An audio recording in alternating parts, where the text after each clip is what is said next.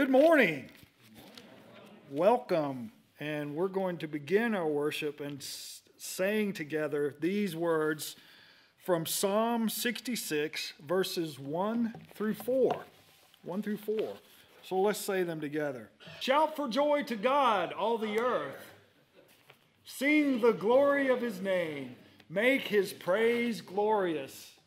Say to God, How awesome are your deeds! So great is your power that your enemies cringe before you. All the earth bows down to you. They sing praise to you. They sing the praises of your name. Let's stand, together and let's sing Worthy of Worship. Worthy of worship, worthy of praise, worthy of honor and glory,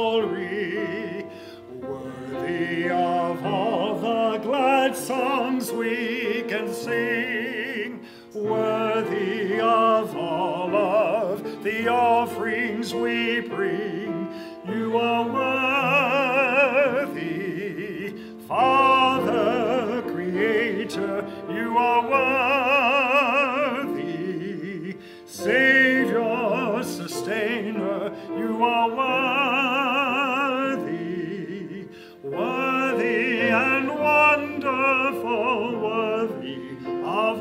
worship and praise.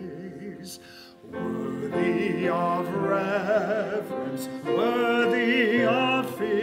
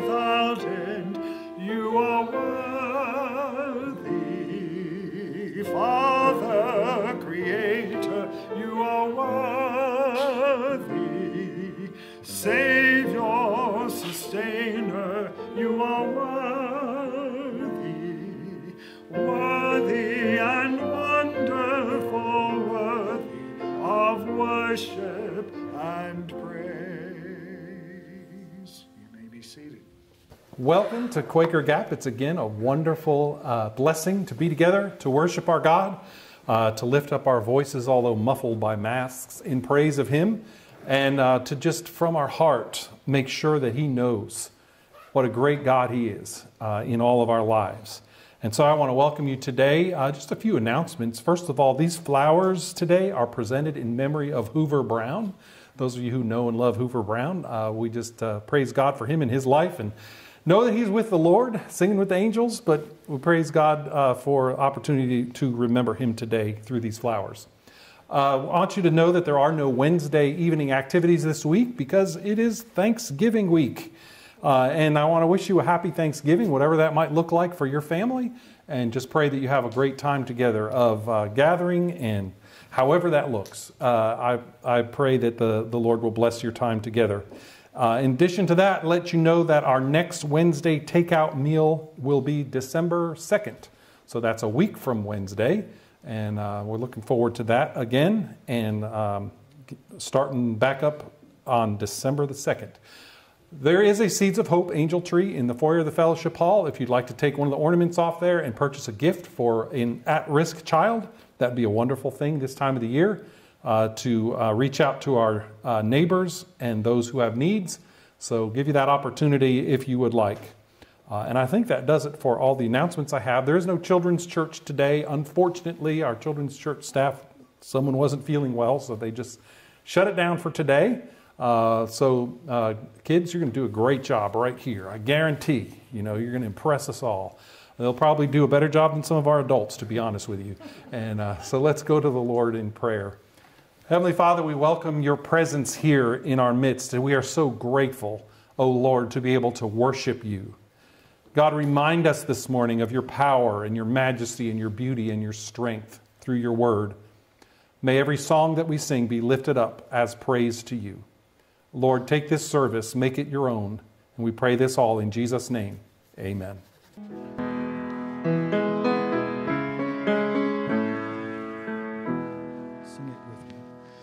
Water you turned into wine. Open the eyes of the blind. There's no one like you. None like you. Into the darkness you shine out of the ashes we rise. There's no one like you.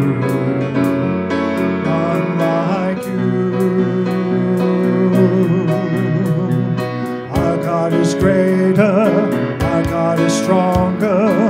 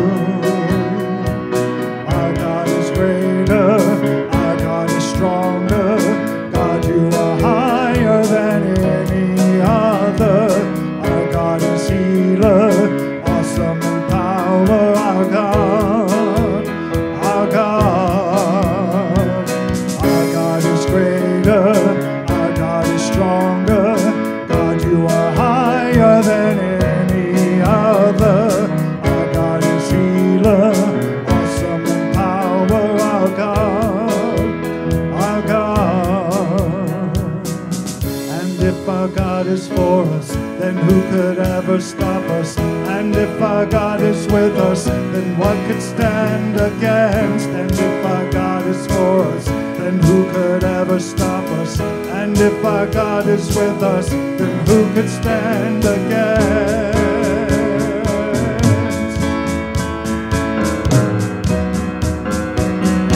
Who could stand against?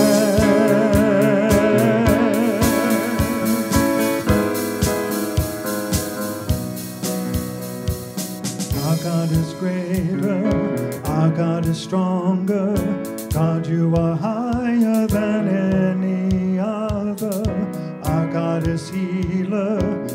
awesome in power. Our God, our God, our God is greater, our God is stronger.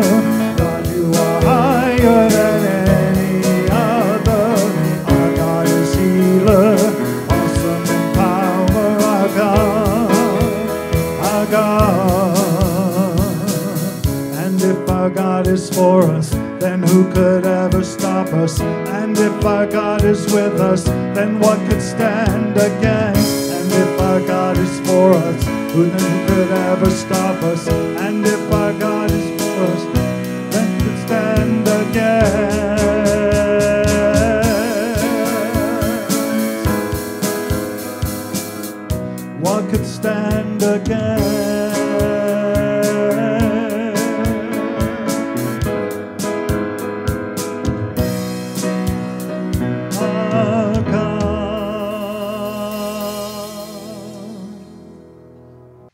Bibles and turn to Psalm 29. Psalm 29. It's a beautiful psalm written by David to be sung by the people of Israel as a reminder of how great God is. And if God is on your side, then you have nothing to fear. Uh, and David here, it gives us a picture of a storm coming in. And I hope you'll see the imagery as we read Psalm 29. Ascribe to the Lord, you heavenly beings. Ascribe to the Lord glory and strength. Ascribe to the Lord the glory due to his name. Worship the Lord in the splendor of his holiness. The voice of the Lord is over the waters. The God of glory thunders. The Lord thunders over the mighty waters. The voice of the Lord is powerful. The voice of the Lord is majestic. The voice of the Lord breaks the cedars. The Lord breaks in pieces the cedars of Lebanon. He makes Lebanon leap like a calf, Sirion like a, a young wild ox. The voice of the Lord strikes with flashes of lightning.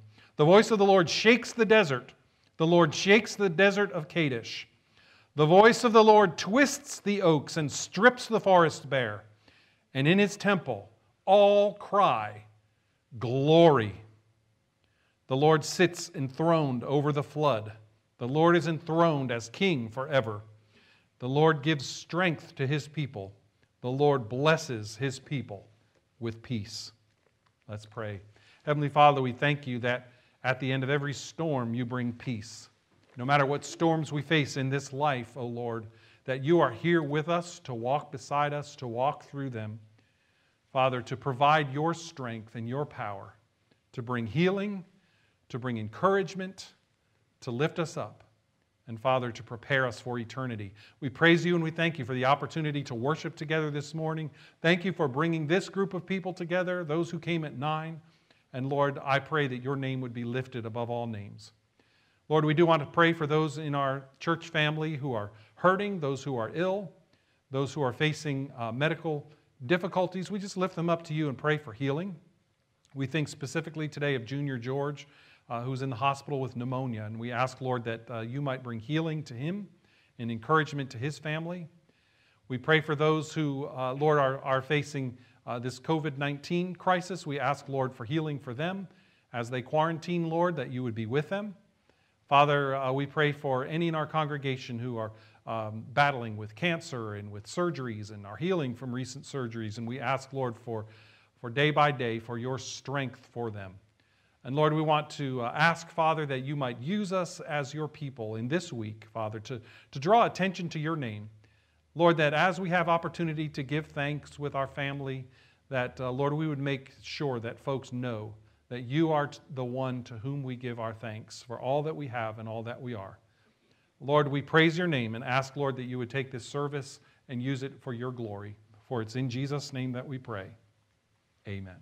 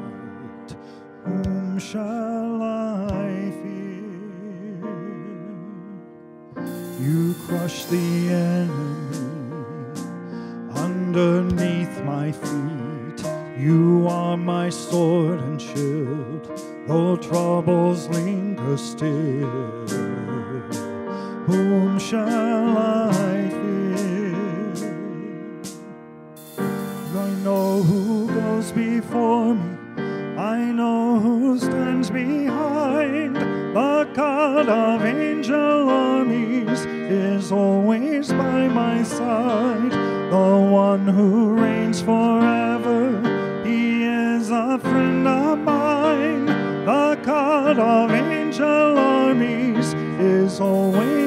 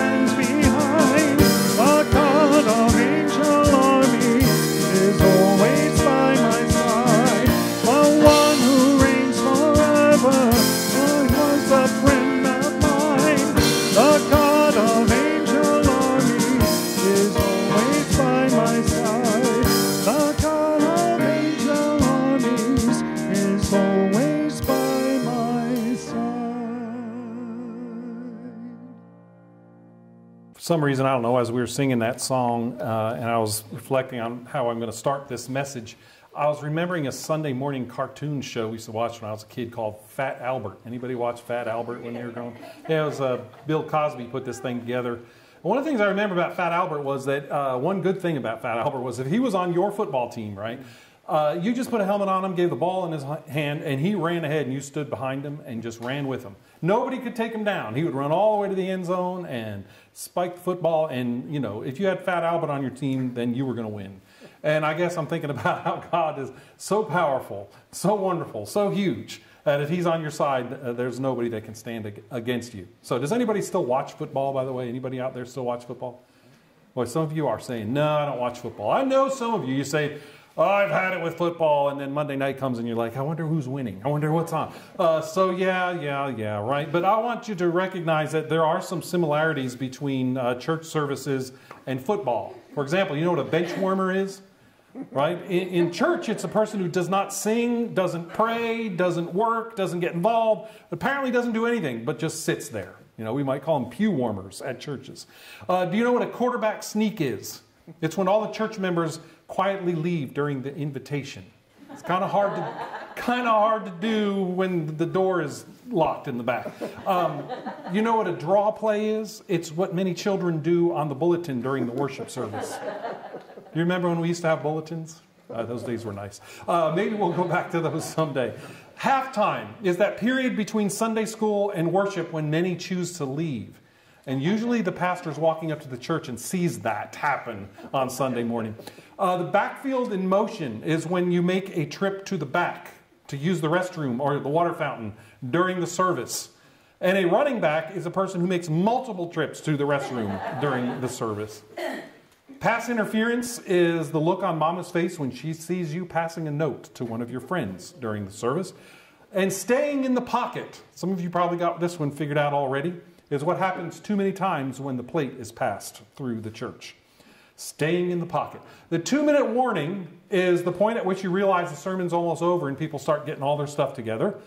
Uh, and then the instant replay is when the preacher loses his notes and he falls back on last week's illustrations. And you say, I think I've heard this before.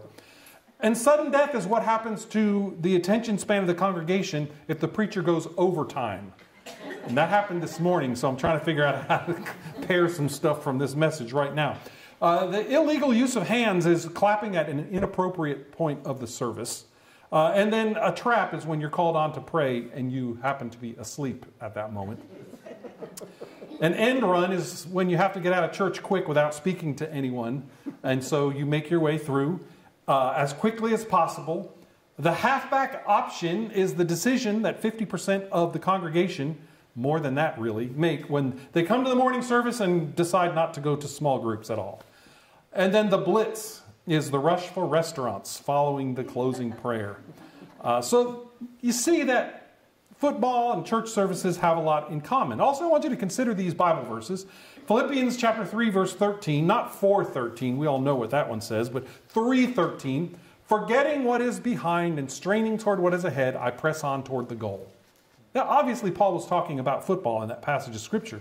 In Job chapter 19, verse 8, we read, He has blocked my way, so I cannot pass.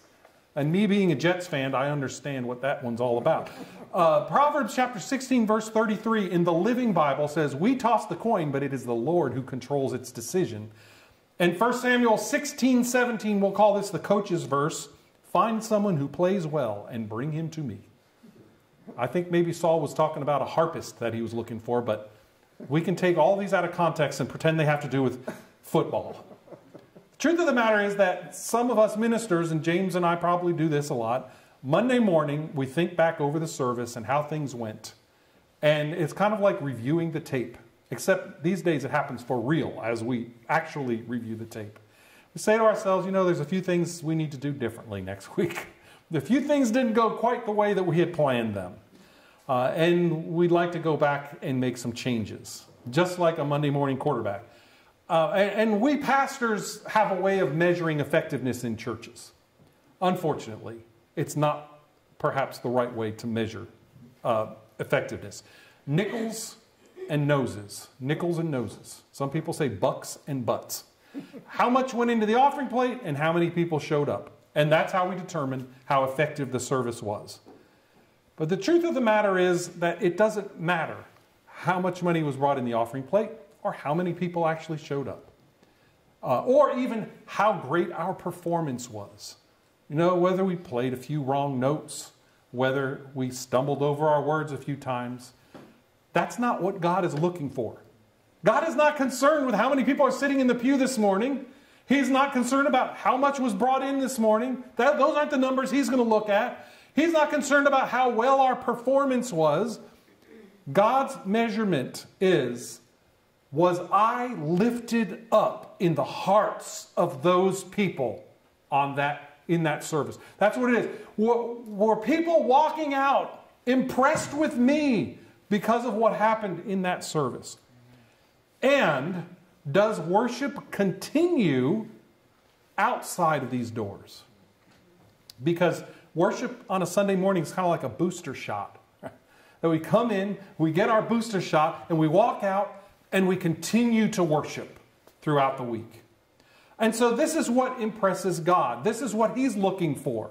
That worship is not state of the art to Him, it's state of the heart. And that's what He's looking for. So, last Sunday we began a series of messages called The Word on Worship. The first question we addressed is what is worship? And the definition that we came up with is worship is the full life response. Your head, your heart, and your hands to who God is and what He has done. So, worship is not just about us coming together on a Sunday morning and singing a few songs. Worship is your whole life. It is your whole response as a human being toward who God is and what He has done. And it's what you say, and it's what you do, and it's how you feel. It's all worship. And then we moved on to why we worship. And we saw from Scripture that God designed us as human beings to worship, that we can't get away from it. That we as human beings were designed by God and created by God with the need to worship. So there's some things that are true of us as human beings. We eat. We're going to find out about that on Thursday. That's what we always do. We eat, we sleep, we worship. It's a part of who we are, it's what we do. And there are many things and people in this life that are praiseworthy. Part of being a human being is drawing attention to praiseworthy things in life. So when you watch a football game or a NASCAR race or a golf tournament and you are impressed by physical feats that take place there, you say, wow, that was awesome. That's praise. Do you realize it?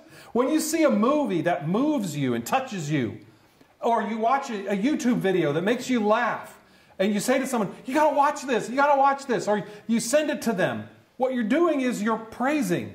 That's what we do as human beings. Whenever you make a big deal about anything, you are exercising your praise muscle. And there's nothing wrong with this. There are a lot of things in life that are praiseworthy. In fact, Proverbs chapter 31, our favorite Mother's Day passage, says about this woman honor her for all that her hands have done, and let her works bring her praise at the city gate. We're saying that this woman deserves praise because of who she is. It's a good thing for us to find praiseworthy people and to make a big deal out of them. It's not a sin for us to recognize beauty and achievement and greatness in this world, to be impressed with it and to lift it up and to praise it. However, as normal as it is for us to esteem that which deserves praise in our world, and there's a lot that does, we must be careful to reserve our highest praise for the one who deserves it the most. So, yeah, sports are fun, fun to participate in, fun to watch. Movies are entertaining. You know, there are certainly uh, some talented musicians out there that are worth listening to, but God is everything.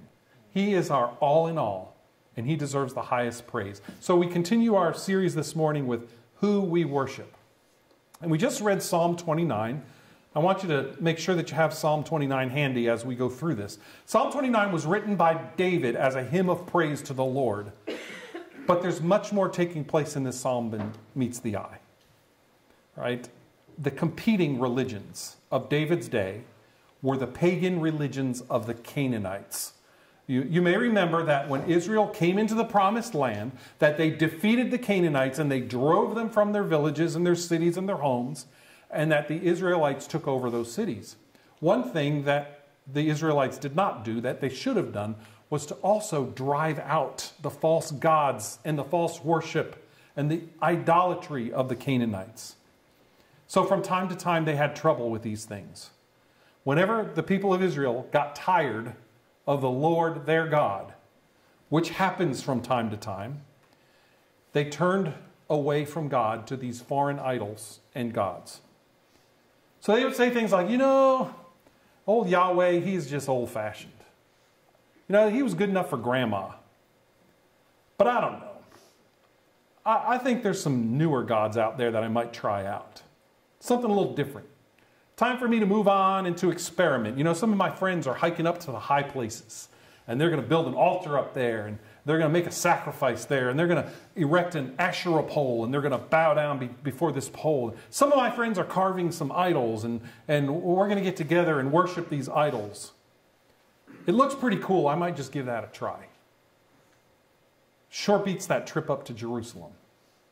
And so they began to walk away from the true God of Israel, who had brought them into the promised land, and they began to worship other gods.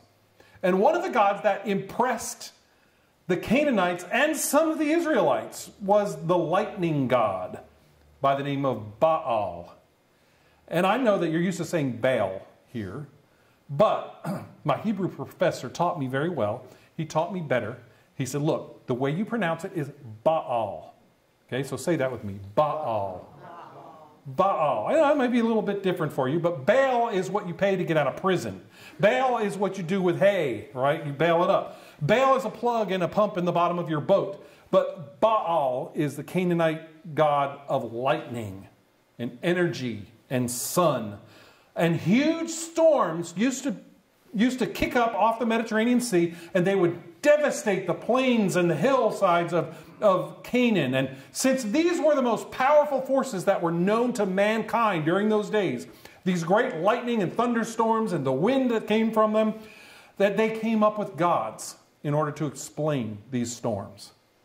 And they built altars and they burned sacrifices and they crafted graven images to this Baal, hoping that they could earn from him the ability that he probably would not destroy them. So I'd say, look, if we just bow down before this Baal storm god, maybe he'll save our crops. Maybe he'll keep us from dangers.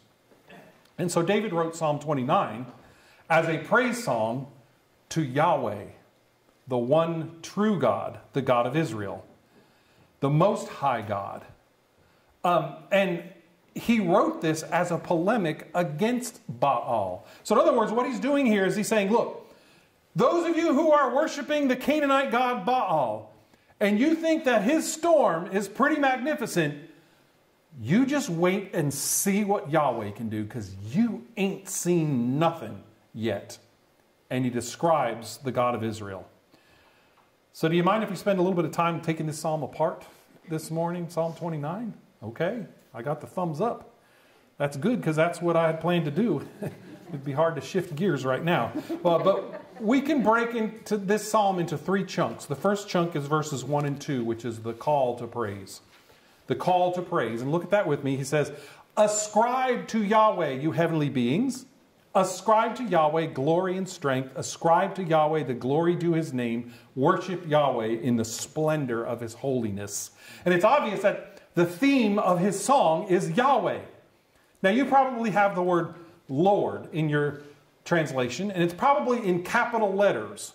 The word Lord in capital letters in your translation is the name of God for the people of Israel. It is a four letter Hebrew name for the one true God uh, of Israel, Yahweh. It is Yod, He, Vav, He, four consonants. And the name is sometimes transliterated into English as Jehovah or Yahweh. Whenever the rabbis of Israel came across this name as they were reading scripture, they would never say the name Yahweh they would say the name when they got there. Or they would use another word for Lord, which was Adonai, and they would substitute that name. But they would not say the name of Yahweh. But make no mistake, the Lord that David is writing about here in this passage of Scripture is the Lord who identified himself to Moses as Yahweh, the great I am, the one true God, the creator of the heavens and the earth. And the name Yahweh appears 17 times in this short psalm. So there's no question that Yahweh is the star of David's song here. Uh, it's like if you were to listen to Dolly Parton sing the song Jolene, and later on ask yourself, hmm, I wonder who that song's about. There's no doubt who that song's about, right? And there's no doubt that this song is about Yahweh, the one true God, the God of Israel. David calls upon the heavenly beings to ascribe glory to Yahweh. And who are the heavenly beings? Well, the heavenly beings here are literally translated the sons of God. David says, Sons of God, I want you to ascribe to Yahweh glory and strength. The NIV translates this heavenly beings because throughout the Old Testament, whenever you see the sons of God, it's talking about the angels. At the beginning of the book of Job, the angels come to report to Yahweh, and we read, Now there was a day when the sons of God came to present themselves before the Lord, and Satan also came among them. What's happening here is that there are angels who are reporting to God. Satan himself, being an angel, albeit a fallen angel, comes to present himself before God as well. The sons of God are the angels. So David is saying this, starting from the angelic beings all the way down to every person, every human being on earth. David says we need to ascribe glory to God. So, what does it mean to ascribe glory to God? It means to acknowledge who God is, to recognize who God is, and to proclaim who God is. Some translations, like the King James Version, have the word give. It says, Give unto the Lord, O ye mighty. Give unto the Lord glory and strength. Give unto the Lord the glory due to his name. Worship the Lord in the beauty of his holiness. So while there's nothing wrong with that translation, it's not we who give glory and strength to God as if God needs it from us. I thought, we give God his strength and glory. No, it's not, it's not the way it works. God already is all glorious. God is already all powerful. If no human being ever were created or existed to sing his praise, if no angel circled the throne and said a word about God, he would still be all glorious and all powerful. He doesn't need our worship. He is already all glorious and all powerful. You know, some people say if a tree falls in the forest and no one's there, does it make a sound? no one's there to hear it, does it still make a sound? And the answer to that question is of course it makes a sound. Just because nobody's there to hear it doesn't mean that it falls quietly, it still makes a sound. And listen, if there is no human being to ascribe glory to God, what does Jesus say? The rocks will cry out to praise his name. When you ascribe glory to the Lord, you are stopping to recognize Him and to acknowledge who He is from your heart. Right? It's kind of like when you see a rainbow, that you stop for a moment and you experience it because rainbows are beautiful and they are rare. Uh, and so you stop for a moment and you might whip out your cell phone and snap a picture of it and put it on Instagram and say, Look, this rainbow I saw. Right? And, and you get the kids and you say, Quick, kids, you got to see this. Quick, before it goes away. And you bring them outside and you show them, Look at that beautiful rainbow. And you know, there are times when I've been just sitting in the house reading a book or something, and I'm, suddenly my phone will blow up, and I'll say, "What's going on?" I'll look at it, and there'll be all these Instagram photos of rainbows. I say, "Everybody's looking at this rainbow," and so I'll head outside and look, and it's gone. I missed it. Well, the rainbow was just as beautiful, just as glorious, whether I saw it or not. But the fact is, when we see it, we express within our heart isn't that beautiful? Wasn't this something? And we share it with our friends. The same is true of our Lord. When we ascribe glory and strength to our God, we are recognizing Him and experiencing it for ourselves, saying, Isn't God strong and powerful? That's what worship is. When we stop and ascribe to the Lord what is already true of Him, it says it's already due to Him. We owe it to Him already. So when we sing like His name is wonderful, we are recognizing the truth about Him. He is 100% wonderful. Whether we say it or not, whether we sing it or not, He is wonderful. But we have been created by God to express wonder of Him. And we are fulfilled as human beings, created in the image of God, when we ascribe wonder to Him. So David also tells us how we are to come into this worship. Ascribe to Yahweh the glory due his name, worship Yahweh in the splendor of his holiness, and the splendor of his holiness is how we are to appear before God. And it literally means in holy attire. You know, in other words, get dressed up for the occasion. You know, show up before the Lord in your best holy garments and worship him. So the priests had these special vestments that they wore in order to worship. You know, some pastors still wear these fancy robes today when, when we come together for worship. Um, but, you know, I believe that in our day and age, when we come to worship God, what is it that we wear? What is the holy garment that we wear as followers of the Lord Jesus Christ? By faith in Him, as the hymn writer says, we appear before the Lord dressed in His righteousness alone, faultless to stand before the throne. So we wear the garment of praise, which is our Lord Jesus Christ and his righteousness upon us. Doesn't matter how you come dressed for worship. You know, Scripture says we should dress modestly. Scripture says we should, we should come and, and worship our God. It doesn't say that you need to wear a tie or a suit or any special clothing, but it does say that if you are a believer in the Lord Jesus Christ, you are covered in the righteousness of the Lord Jesus Christ, and that is our garment of praise. So David calls all heaven and earth to show up in our holiest attire to acknowledge the glory and the power that is due to Yahweh. That's the call to praise. So we move on to the heart of the psalm, which is found in verses 3 to 9, which is the cause for praise. The cause for praise. And this is where David begins picking on Baal and anyone who would choose to worship that fake Canaanite lightning god. David has words for them. He doesn't mention Baal in this passage, but he really doesn't have to. David joins with the chorus of angelic beings that he is called upon to ascribe glory and strength to Yahweh. And the way that he does it is he makes some observations. He says in verse 3 The voice of Yahweh is over the waters, the glory of God thunders. Yahweh thunders over the mighty waters.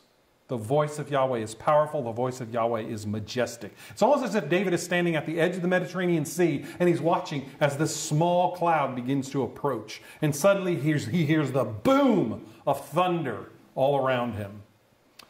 Um, like Elijah of old praying over an altar on a clear day when suddenly out of nowhere the thunder begins to rumble. And so God's voice is like a clap of thunder out of nowhere. And maybe you've heard that before. It's unexpected, it's loud, it's majestic, it shakes you, every fiber of your being. You never saw it coming, it echoes over the water and it stirs in your heart. And David says, The voice of the Lord is like thunder. You cannot escape its power and its splendor. And he continues, The voice of Yahweh breaks the cedars. Yahweh breaks in pieces the cedars of Lebanon. He makes Lebanon leap like a calf, Sirion, like a young wild ox. He's talking about trees and mountains here. Right? Lebanon is Mount Lebanon, Sirion is Mount Hermon. He's talking about the trees and the mountains. Now, this storm has moved off of the sea and is on the land. And it is uh, doing its worst. It is snapping even the largest trees in its path like toothpicks, and splinters are flying everywhere. The cedars of Lebanon for the people of Israel, it's kind of like the redwood forest for us as Americans. Right? If you've ever been there, those are the biggest trees on our continent, and you stand by these massive trees. And you take pictures of them and bring the slides home and show your friends, and they're not impressed because it doesn't look so great picture wise. But these things, when you stand next to them, are massive in height and girth, and you can't even put your arms around them. You stand by these huge trees, and you're so impressed by their majesty. And what is it that David says about the cedars of Lebanon? He says they break into pieces. They snap like toothpicks at the strength and the glory of God. And then he says, even these great mountains skip like young little animals skipping through the forest. The mountain, which is the most permanent thing in life, right? You drive up the road here and you see a mountain back here, and it's always there. They, sometimes the clouds block it, but you know that mountain's there. Imagine one day you come up on a clear day and it's just gone. Where did it go? David says that the, the storm of the Lord, the power of God, can make Mount Lebanon and Mount Hermon dance like little calves playing in the meadow. The force of the wind is so great, even the mighty mountains are powerless against it. And then the lightning strikes. Verse 7 The voice of Yahweh strikes with flashes of lightning. The voice of Yahweh shakes the desert. Yahweh shakes the desert of Kadesh. So now we've moved from the great mountains of the northern parts of Israel to the deserts that are in the south of Israel. The whole earth is shook by the glory of God, and there is no escape. And I love the King James Version here where it says, The voice of the Lord divideth the flames of fire. The voice of the Lord divideth the flames of fire. Isn't that a beautiful picture of lightning? The lightning, as it begins with one broad stroke high in the sky, and then it branches out and breaks and it divides into many branches, into smaller strikes all over the earth. And this is the voice of God coming from heaven in one broad stroke and dividing into many branches. The voice of God striking everyone with its power and its fury and its beauty and its truth. So I had to Google lightning, and I found out that every single second there is a lightning strike somewhere on planet Earth. Sometimes as many as 100 times a second. There is always lightning striking the earth. And lightning is one of the greatest wonders of electricity. It is so powerful that it can contain up to a billion volts in any single strike. I was like, what is a billion volts like? Well, to put that into perspective, a taser, which can knock a man off his feet, can pulse with about 50,000 volts. 50,000 volts in a taser will knock you off your feet. What will a billion volts do to you? Would there be any hope for you if you were to be struck with a billion volts? Uh, and there's enough energy in a typical flash of lightning to light a 100 watt light bulb for about three months. Right? If you could just harness the lightning in some way, uh, if you could just harness the lightning, but we can't. We can't. And so we burn coal instead of trying to harness the lightning. Lightning is a powerful picture of the glory of God and the strength of the Lord as it rips across the sky and pounds the earth and scatters sparks and fire in its path. And David is so impressed by the power of the storm. And he says, That storm is the voice of our God. I love God's questioning of Job in the book of Job when he says, Can you raise your voice to the clouds and cover yourself with a flood of water? Do you send the lightning bolts on their way? Do they report to you? Here we are, ready for duty. Who has the wisdom to count the clouds? Who can tip over the water jars of heaven when the dust becomes hard and the clods of earth stick together?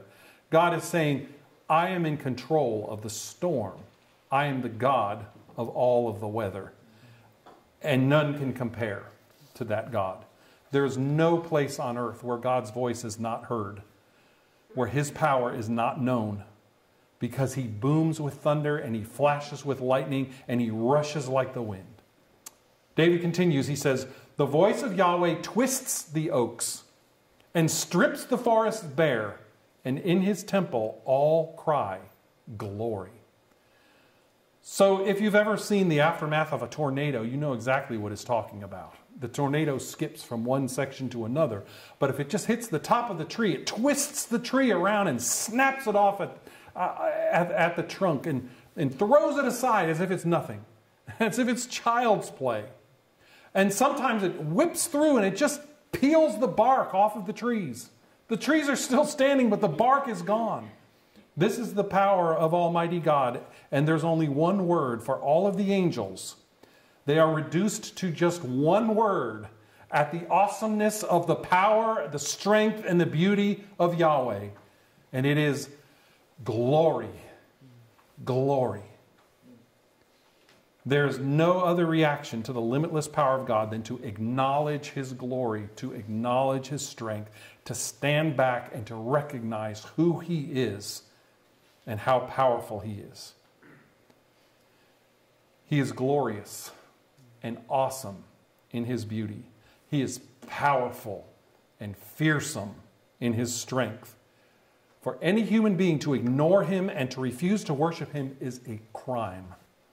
For any human being to be impressed with anything or anybody higher than their impression of God is just lunacy. It is idolatry. So, what David is saying is this set aside your gods, because there is no God like our God. Baal is a weakling, he is a fake story. The real power is found in Yahweh. So come down from your high places, step away from your man made idols and your false gods. They are powerless. Ascribe to Yahweh the power and the strength that is due to his name. So, who do we worship? We worship Yahweh, the creator of heaven and earth, the God of Israel, the God of the, the earth, the God of the universe the creator of all things, the God who sent his Son to sacrifice his life for the forgiveness of all who will come to him by faith. So I need to show you this. In the Old Testament, through the prophet Isaiah, the Lord says, Turn to me and be saved, all you ends of the earth, for I am God, and there is no other. By myself I have sworn, my mouth has uttered in all integrity a word that will not be revoked. Before me, every knee will bow. By me, every tongue will swear, and they will say of me, In the Lord alone are deliverance and strength. All who have raged against him will come to him and be put to shame.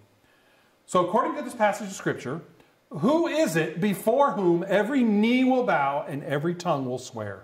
Who is it? It is Yahweh, the Lord alone. But then, you know, Paul in the New Testament, in the book of Philippians, um, continues.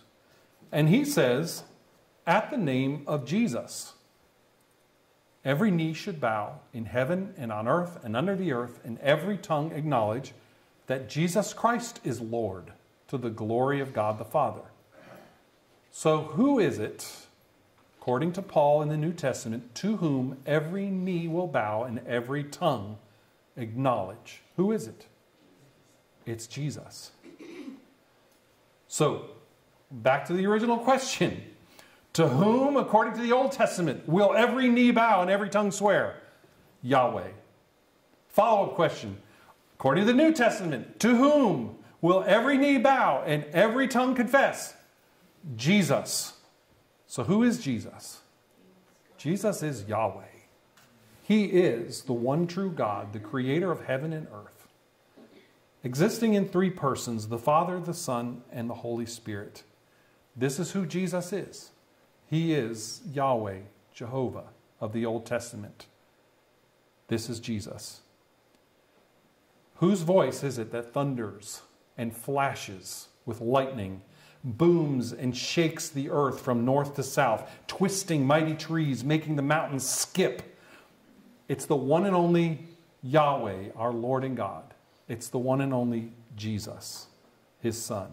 So David finishes his song with a conclusion in verses 10 and 11. And he says, Yahweh sits enthroned over the flood. See, in my mind, I see now that the storm has moved away, and we're just looking at the aftermath.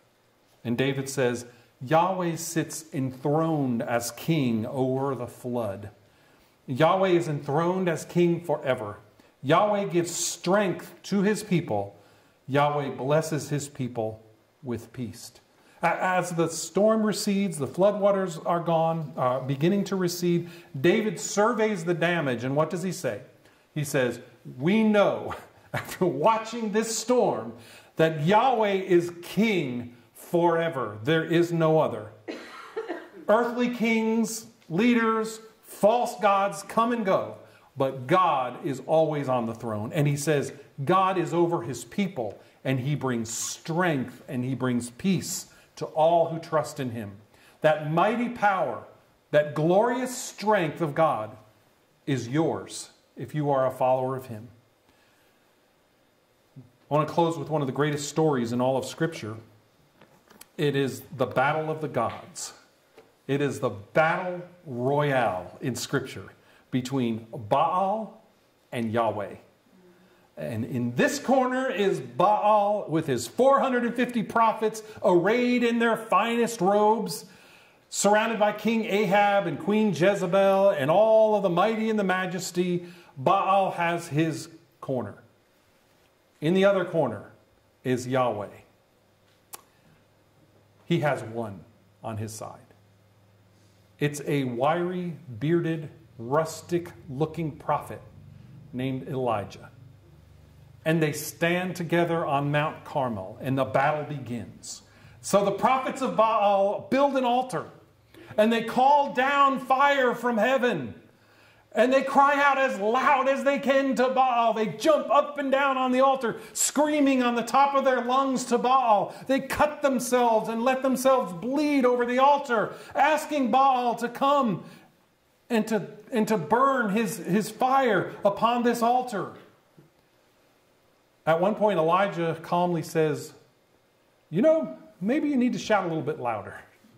Maybe Baal's hearing's not so good these days. Maybe, you know, his hearing aid's gone out.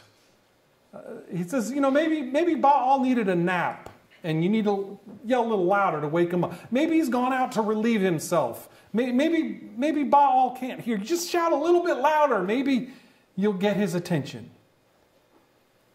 Eventually, as the crickets keep chirping and there is no fire anywhere to be seen, Elijah says, Y'all step over here a little bit closer because I don't want you to miss this. Everybody gather around my altar. I don't want you to miss a thing.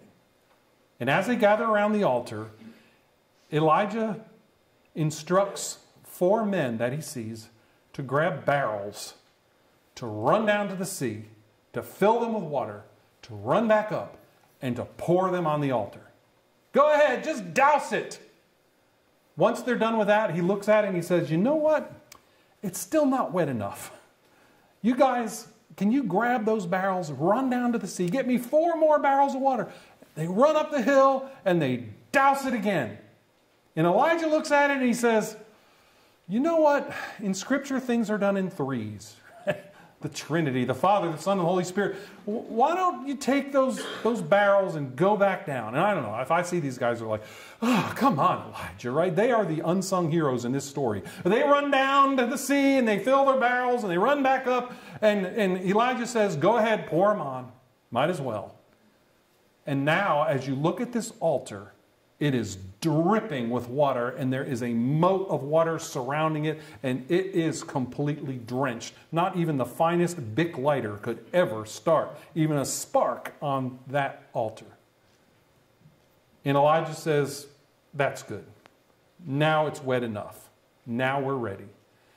And here's what Elijah prays in 1 Kings chapter 18. He says, Yahweh, the God of Abraham, Isaac, and Israel.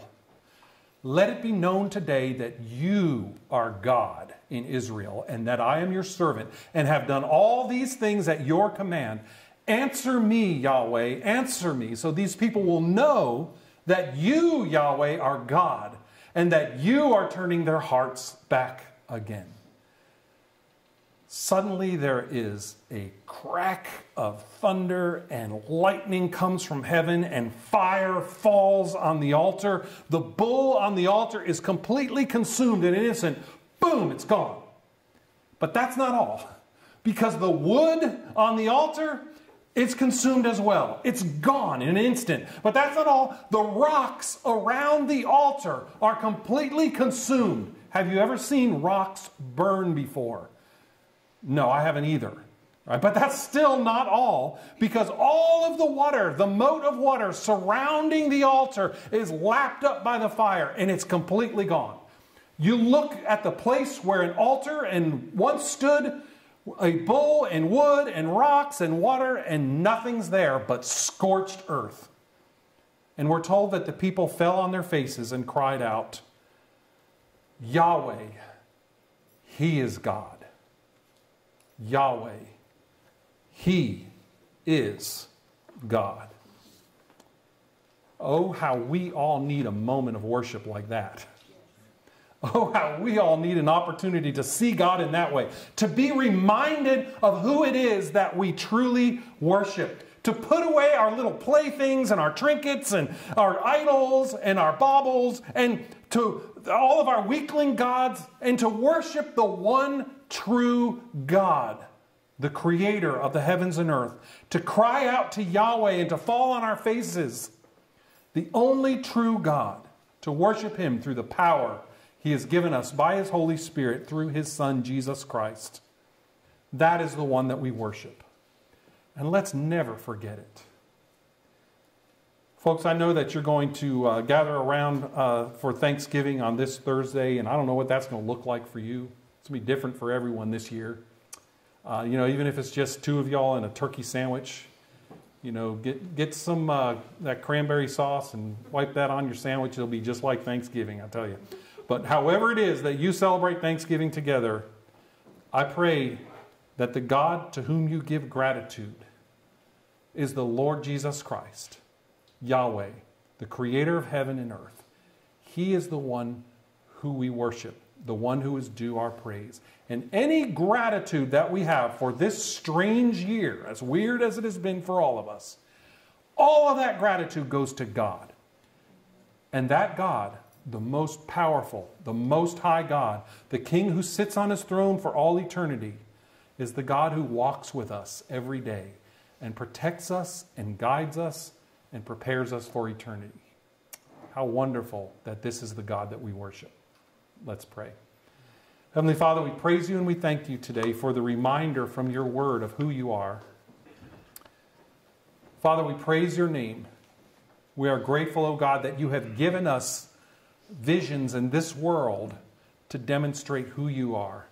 And even the great destructive, harrowing storms, what are just a small depiction of your glory and your power. And yet Jesus was able to stand on the bow of the boat and say, Peace be still.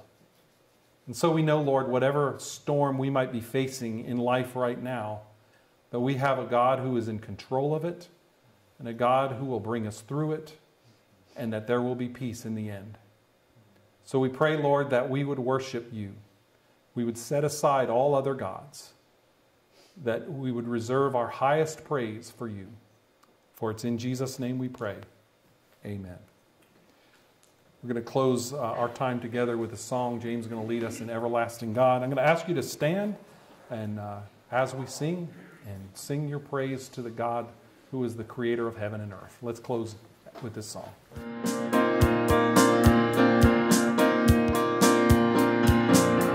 Strength will rise as we wait upon the Lord. We will wait upon the Lord. We will wait will rise as we wait upon the Lord. We will wait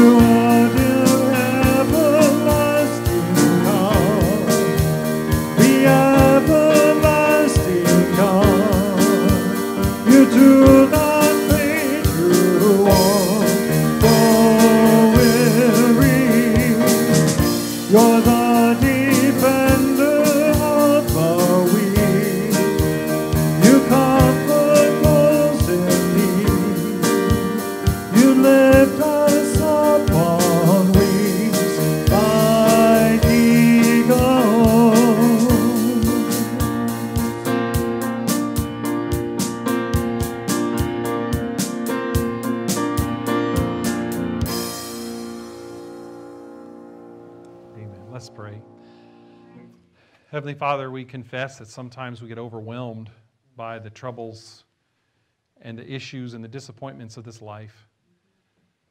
God, I pray that you would remind us of how powerful you are, what a great God you are, and of how much you love us, and that you are on our side. So, Father, I pray that as we walk out through these doors, that we would continue, Lord, to worship you with our lives. This week, as we have opportunity to be thankful, Father, I pray that you would receive our gratitude, receive our worship and our praise. For it's in Jesus' name that we pray. Amen.